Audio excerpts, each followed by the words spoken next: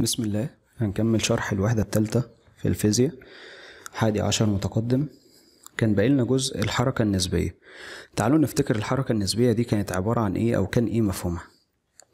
دلوقتي لما أنت تكون واقف على الطريق فتشوف عربية قدامك فتحسب سرعتها يعني هي بتمشي مسافة قد إيه في زمن قد إيه بالنسبة لك تلاقي إن هي مثلا بتمشي بسرعة خمسة متر على الثانية في الاتجاه ده. طيب. لما انت تقوم راكب تاكسي وراه وتقوم ماشي ورا العربية دي بسرعة اتنين متر على الثانية. العربية اللي انت فيها ماشية باتنين متر على الثانية. السؤال العربية دي هتبان لك ماشية بسرعة خمسة ولا سرعة أكبر ولا سرعة أقل. حاولوا تجربوها شوفوا العربيات وهي ماشية وبعد كده لما تركبوا عربية وتبصوا على العربيات اللي جنبكم. هل بتحسوا إن هي أبطأ ولا أسرع ولا نفس السرعة؟ أكيد هنحس إن هي أبطأ. فبنقول إن كان قانون السرعة النسبية بيساوي. أنا دلوقتي العربية دي هي ماشية بسرعة ثابتة. ولكن لما أنا ركبت عربية ماشية في نفس اتجاهها حسيت إن هي بطيئة. طب لو ركبت عربية ومشيت عكس اتجاهها على الطريق السريع أو لما بنسافر ونفتح الشباك كده ويبقى في عربيات معدية من جنبنا نحس إن هي ماشية زي الصاروخ. طب إزاي دي ما بتاخدش مخالفات؟ ولا إزاي الناس دي بتمشي بسرعة كبيرة كده؟ هي ماشية بالسرعة القانونية عادي ولكن باينالك إن هي ماشية بسرعة أكبر من سرعتها. وبالتالي السرعة النسبية دي معناها إيه؟ معناها إن الجسم ممكن يبقى ماشي بسرعة معينة ولكن بالنسبة لكذا مراقب هو ماشي بسرعة مختلفة. فبالنسبة لواحد واقف على الطريق هو شايفه ماشي بسرعة خمسة متر على الثانية. بالنسبة لعربية ماشية جنبها في نفس ال- الاتجاه شايفاها بتمشي بسرعة 3 متر على الثانية. بالنسبة لعربية جاية في وشها بتمشي عكس الاتجاه شايفاها بتمشي بسبعة متر على الثانية. فالسرعة النسبية بنقول لازم يبقى عندك حاجتين. مين بالنسبة لمين؟ فلو عايز السرعة النسبية بتاعت العربية واحد بالنسبة للشخص اتنين أو العربية اتنين هي بتساوي في واحد ناقص في اتنين وكل واحدة بإشارتها. بمعنى لو هما الاتنين في اتجاه واحد فهيبان لك إن العربية سرعتها بالنسبة لك السرعة النسبية في واحد بالنسبة لك أنت اتنين هتبقى خمسة ناقص أنت ماشي بسرعة اتنين فهتبان لك أبطأ من سرعتها الحقيقية. ولو كنت جاي في اتجاه في وشها بسرعة اتنين متر على الثانية فيبقى خمسة ناقص ناقص اتنين فهتبان لك بسرعة أكبر. ولو كنت أنت ثابت على الأرض فهتبان لك بسرعتها الأساسية فده كده كان مفهوم الحركة النسبية أو السرعة النسبية. فنفس الكلام هناخده هنا ولكن هنتكلم على تلت مناط إسناد. يعني إيه مناط الإسناد؟ اللي أنت أنت بتشوف العربية في إيه الشباك اللي أنت بتشوف منه العربية دي؟ هل الشباك ده وأنت واقف ولا هل شباك العربية اللي ماشية في نفس الاتجاه ولا هل شباك العربية اللي ماشية في عكس الاتجاه؟ فمناط الإسناد هو معناه أنت بتشوف الحركة دي من أنهي وجهة نظر.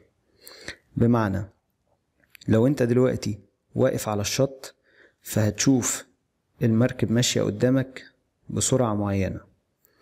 طب ولو أنت على المركب نفسه هل هتحس إن المركب بيتحرك؟ لا. انت هتحس ان الشط أو العالم كله من حواليك هو اللي بيتحرك عكس اتجاهك. يعني انت كنت شايف المركب كده ماشي ناحية الشرق. لو انت ركبت على المركب هتحس ان كل حاجة حواليك هي اللي بترجع ورا بسرعة المركب. فمناط الاسناد هو معناه انت بتبص على الحاجة منين أو انت فين. لو انت على الشط فشايف المركب بيتحرك. لو انت على المركب مش هتلاحظ حركة المركب امال هتلاحظ إيه؟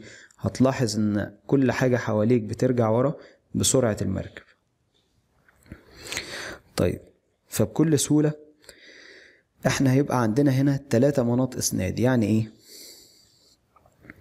يعني دلوقتي لو انت شخص واقف اهو على الشط وفي مركب كده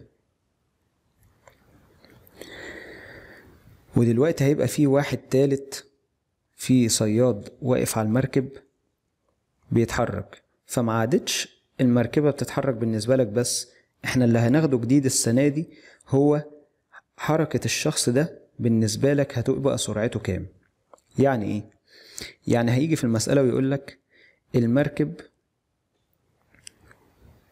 بوت بيتحرك بالنسبة للبرسون اللي واقف ده الشخص ده بسرعة خمسة متر على الثانية ناحية الشرق. طب إيه الغريب؟ هيقول لي وسرعة الصياد ده الصياد ده قام قام قايم وقام متحرك على المركب في نفس اتجاهه. فسرعة الصياد وليكن الفشر بالنسبة للبوت فهو بيتحرك بالنسبة لسرعة المركب بيتحرك بسرعة واحد متر على الثانية بالنسبة للمركب. إيه السؤال؟ أنا عايز سرعة الفشر ده سرعة الصياد ده بالنسبة للراجل اللي واقف بره ده هيشوفه ماشي بسرعة كام؟ هل هيشوفه أسرع من المركب ولا أبطأ ولا بنفس سرعته؟ فبالنسبة للشخص ده هيشوف الشخص ده عمال يتحرك أسرع من حركة المركب المركب ماشي بسرعته العادية وفي واحد ماشي بسرعة بالنسبة للمركب. فلما المركب يوصل هنا الشخص ده كان هنا. لما المركب يوصل هنا الشخص ده كان هنا. فهيلاقي إن هو سرعته أكبر منه. فبنقول القانون العام للحركة النسبية بيساوي إيه؟ لو أنا عايز السرعة النسبية لمناط اسناد إسناد بالنسبة لمناط تاني أو جسم بالنسبة لجسم تاني فلازم هنجيب reference ليهم. فهو هيساوي مجموع سرعتين. هقول هحط الاف هنا أو الجسم الأول هنا في الأول والجسم التاني هنا في الآخر. وأحط reference ليهم اللي هو إيه؟ اللي هو المركب. فأنا عارف سرعة الصياد بالنسبة للمركب بواحد متر على الثانية ناحية الشرق. وعارف سرعة المركب بالنسبة لي كشخص واقف على الشط بخمسة متر على الثانية ناحية الشرق. فهيبقى سرعة الصياد بالنسبة لي ستة متر على الثانية يعني سرعته أكبر من المركب. طب لو كان الصياد ده واقف الناحية التانية هنا وبدأ يتحرك عكس فكانت سرعته بالنسبة لي أنا لما المركب كان هنا كان الشخص هنا. المركب كان هنا الشخص هنا. المركب هنا الشخص هنا. فأنا شايفه بيتحرك قدامي بسرعة أبطأ من سرعة المركب. طب تعالوا نعملها بالمعادلات. دلوقتي برضو عايز سرعة الصياد بالنسبة لي فسرعة الصياد دلوقتي بقت واحد متر على الثانية ولكن في عكس الاتجاه. فهيبان بالنسبة لي إن هو ماشي أبطأ. طيب. وبعد كده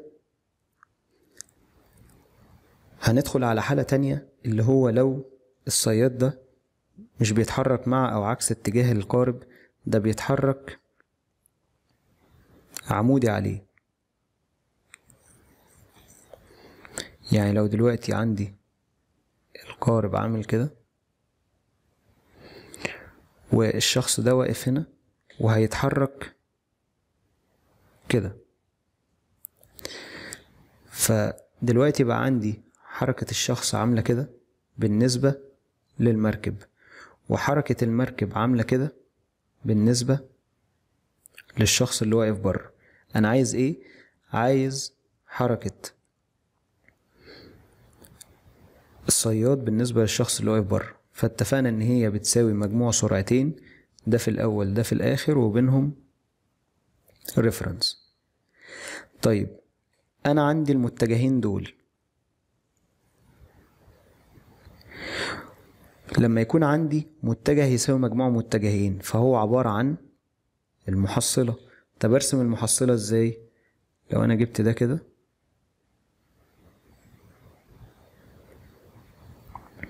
فالمحصلة هتبقى عاملة كده. فدي هتبقى سرعة الصياد بالنسبة للمراقب اللي واقف بره. أجيبها إزاي؟ أجيبها قيمتها في فيثاغورس. جذر خمسة تربيع. آه، ال fisher بالنسبة لل boat بواحد وال boat بالنسبة لل person خمسة. وأجيب اتجاهها من السيتا بتساوي تان انفرس الفي فيشر بالنسبة للبوت على الفي بوت بالنسبة للبرسون. فهنا الجديد معانا إن إحنا هنبدأ في تلات أو في حاجتين بيتحركوا بالنسبة لشخص تالت. فهنبدأ نستخدم المتجهات. هي دي كل الفكرة فإيه الخطوات اللي أحل بيها السرعة النسبية أو خطأ مسائل الحركة النسبية؟ أول حاجة بحدد رمز لكل مناط إسناد. يعني زي ما أنا حددت رمز للصياد رمز للقارب رمز للشخص اللي واقف بره. واكتب المعطيات باستخدام الرموز اللي أنا حددتها. واحدد المطلوب واكتب القانون وعوض باستخدام قواعد المتجهات. يعني وليكن مثال زي ده. في المطار بيبقى فيه مشايات الناس تمشي عليها كده كهربائية. فدلوقتي لو المشاية دي سرعتها بالنسبة لي كشخص واقف بره أنا شخص واقف بره هنا فشايف المشاية ماشية بسرعة بالنسبة لي خمسة متر على الثانية. فلقيت واحد مستعجل فمشى بالنسبة للمشاية بسرعة واحد متر على الثانية فأنا عايز أعرف سرعة الشخص ده بالنسبة لي كام؟ فاتفقنا إن هي هتساوي مجموع سرعتين الأول هنا الأخير هنا وبينهم الريفرنس اللي هو مين؟ المشاية.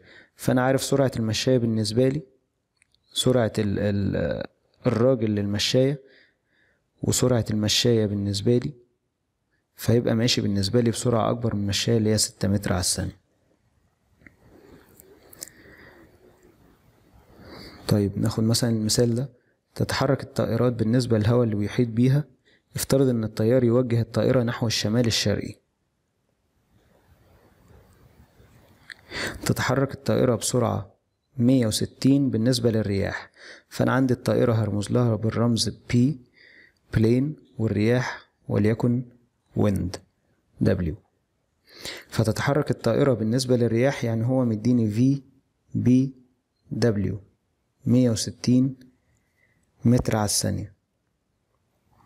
في اتجاه شمال شرقي. وتهب الرياح بسرعة 32 متر على الثانية في الاتجاه من الشرق للغرب مقيسة بأداة في نقطة ثابتة على الأرض. يعني هو مديني سرعة الرياح بالنسبة للأرض. ب 32 متر على الثانية في الاتجاه من الشرق للغرب. عايز إيه؟ ما متجه سرعة الطائرة وسرعتها واتجاهها بالنسبة للأرض يعني عايز في بي بالنسبة للجي فزي ما قلنا هيبقى V زائد V هنا P هنا G وال reference بتاعي اللي هو ال wind فهيبقى PW مدهاني بمية وستين ولكن دي متجهات لأن هما مش في نفس الاتجاه ف المتجه المحصلة هيبقى عامل كده. مش ضروري إن هي تكون زاوية قايمة. طيب فاعملها إزاي؟ هيبقى ال VBG كمقدار هتساوي إيه؟ هتساوي جذر مية وستين تربيع زائد اتنين وتلاتين تربيع طب والمتجه بيساوي إيه؟ ال VBG هيساوي ال VBW اللي هي المية وستين دي ديت في اتجاه قال لي الشمال الشرقي يعني عاملة زاوية خمسة وأربعين كده. يعني لو جيت أحللها هتبقى مية وستين cosine خمسة وأربعين ومية وستين sine خمسة وأربعين. فهيبقى عندي مجموع المتجهين في اتجاه X مية وستين cosine خمسة وأربعين ناقص اتنين وتلاتين لأن دي في اتجاه ال X السالب. يبقى مية وستين cosine خمسة وأربعين ناقص اتنين وتلاتين ده كده في اتجاه ال X. وفي اتجاه ال Y مية وستين sine خمسة وأربعين في اتجاه ال Y فكده بقى عندي متجه السرعة. أقدر أجيب السرعة اللي هو المقدار جذر تربيع ال X جذر ال X تربيع زائد ال Y تربيع. والاتجاه shift tan ال Y على ال X تمام؟ فهو هنا محلل ديت وقام جامع ال X مع بعض وال Y مع بعض وجاب المتجه وجاب السرعة والزاوية المطلوب التاني ما المسافة التي انحرفت بها الطائرة عن مسارها بسبب هبوب الرياح في مدة اتنين ساعة؟ طيب هي السرعة بتساوي إيه؟ بتساوي المسافة على الزمن. طيب فهو عايز المسافة. فالمسافة بتساوي السرعة في الزمن. يعني لو أنا ضربت كل سرعة متجهة من دول في الزمن هيديني المسافة. يعني لو ضربت ال V PW ديت في الزمن هيديني ال R بتاعة ال plane بالنسبة لل wind ودي هتديني ال R بتاعة ال WG بتاعة ال wind بالنسبة لل ground. ودي هتديني ال R بتاعة ال plane بالنسبة لل ground. طيب هو عايز المسافة اللي انحرفت بيها الطائرة عن مسارها بسبب هبوب الرياح. فهي كانت ماشية كده. وبعد كده لقينا إن حركتها بالنسبة للأرض إن هي ماشية كده. فمعنى كده إن المسافة اللي انحرفت بيها هي عبارة عن إيه؟ هي عبارة عن ال RWG الفرق ما بين المتجهين دول هو ده الانحراف اللي حصل في الطيارة. فال RWG بتساوي إيه؟ بتساوي ال VWG ضرب التي فهو ال VWG باتنين وتلاتين والتي هحولها اتنين اور في تلات آلاف وستمية عشان أحولها لثانية. فهيديني مقدار المسافة اللي انحرفتها بالمتر ناحية الغرب. ده يعتبر الأفكار الأساسية في الحركة النسبية. مسألة الغزال دي ممكن نبقى نحلها في فيديو منفصل إن شاء الله. وبكده تكون خلصت الوحدة التالتة. ولو عندكم أي استفسار ابعتولنا وأشوفكم على خير.